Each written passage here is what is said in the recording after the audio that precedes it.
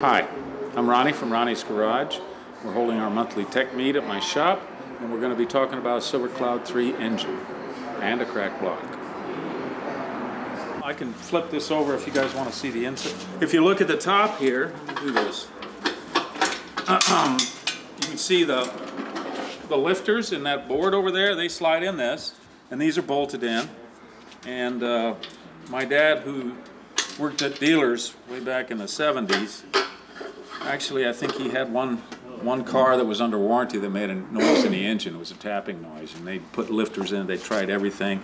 One of these was loose, so it was walking around. Um, and then let's see. We'll show you the bottom of the block. There's what it looks like. Um, pretty good engineering. I have taken these things apart before, well over 100,000 miles on them, and the bearings look brand new. So this is really machined well. These main bearing caps that go in here, they fit pretty tight in here. Uh, they're pretty solid.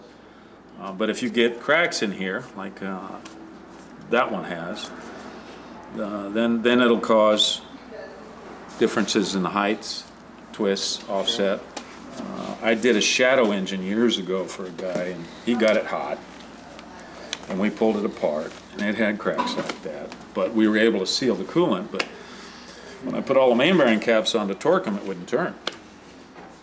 And he didn't, I just want to sell this thing, da da da da. And, and back then I didn't hold to my guns.